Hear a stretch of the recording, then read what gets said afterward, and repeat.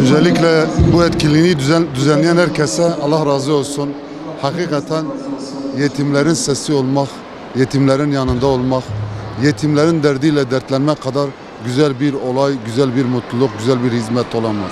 Çünkü biz Resul-i Ekrem Aleyhisselatü Vesselam'ın ümmeti yani kendisi yetim olan bir peygamberin ümmetiyiz. Ve yetimlerin değerini Allahu Teala Azze ve Celle defalarca bizde Kur'an-ı Kerim'de beyan etmiştir. Hakikaten bilmek gerekir. O yüzden bize düşen yetimlerin yanında olmak ve bu tür etkinliklerde mutlaka katkıda bulunmak lazım. Bu işin takipçisi olmak lazım. Bugün malum Orta Doğu coğrafyasında yeryüzünün her yerinde Müslümanlar her zaman e, yetimlerle karşı karşıya kalıyor. Çünkü ne, malumunuz savaşların olduğu yerlerde insanların ölümü vardır. Ölümlerin olduğu yerde gözyaşı ve yetimler vardır.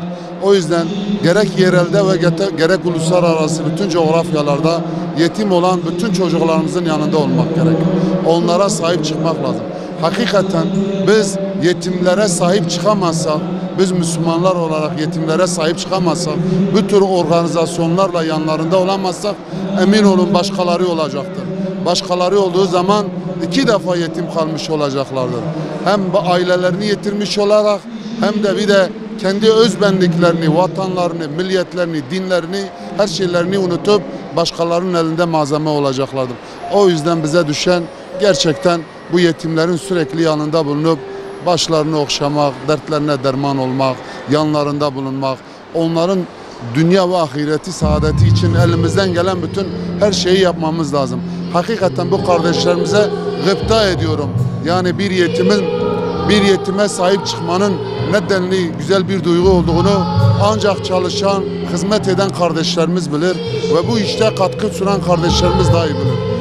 O yüzden Rabbim sürekli bizleri yetimlerin yanında olan, sürekli yetimlerin başını okşayan, maddi manevi bütün katkılar sunanlardan eylesin.